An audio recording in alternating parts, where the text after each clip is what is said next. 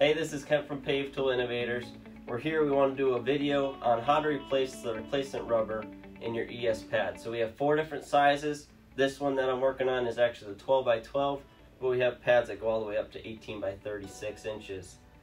Um, but once you get to the point where your pad is, starts to rip, starts to be damaged, maybe even loses air and not creating suction, then we want to take a look at our pad and see if we got areas like this where that air would actually be going through and not being able to create that suction.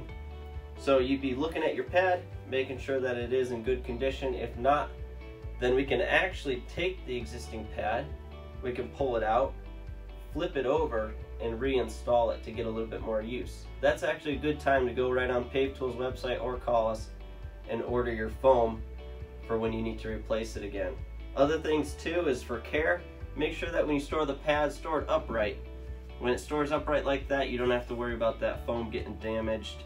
Because um, if you stick it in a back of a truck this way, if that slides around gets caught on a bolt or some other uh, sharp material, it may rip the pad.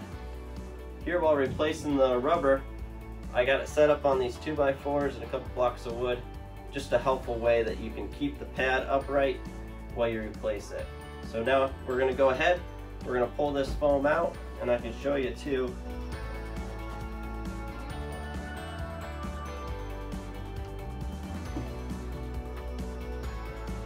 I'll show you then too how you can uh, take it and just flip it over and then reuse it. Alright, so now the foam is pulled out. Looks like this one's already been flipped over and used. Um, but we would just take it and then you just push it right back in. So this is one rubber coming out. When you order your new one, your new one comes just like this. So brand new, Comes glued, ready to go right into your pad. Should be cut to the proper length. But uh, just one way to help while you're installing is using a product like this. This is fluid film. This is just something that will help make this edge slippery as you do slide that pad in. There's no adhesive that's needed to put the pad in. It's just a matter of pushing it into that groove.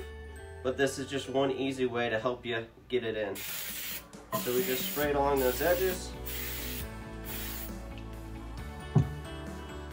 And then when I take this rubber and I place it in, I usually try to start with the glued area right here on one of these edges.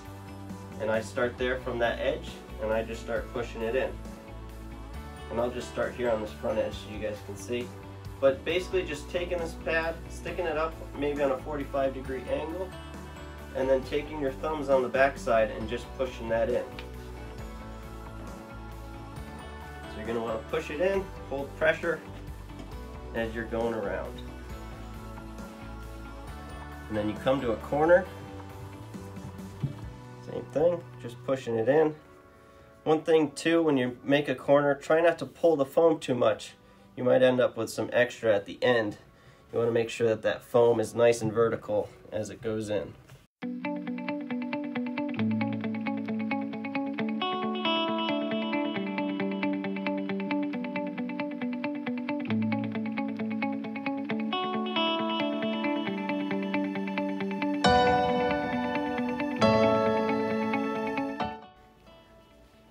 Alright, so now at this point I do have the foam fully installed.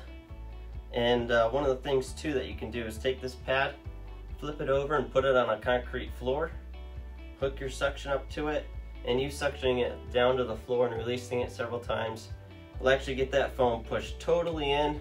So you don't have to worry about anything pulling out or having any gaps anywhere.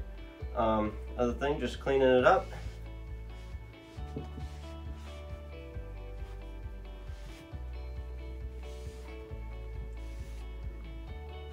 you're good to go. Just one thing that I do want to review too with you is if you do ever have a rip on your pad, you can use a flexible adhesive. Um, they make some different uh, weather stripping glues out there and things like that. So you can actually take a glue such as this and you can actually repair some of those rips that you may get in your pad while using or while moving around on the job site. So hope this video is helpful. If you guys have any further questions, feel free to call us here at Pave Tool and we're willing to help you out however we can.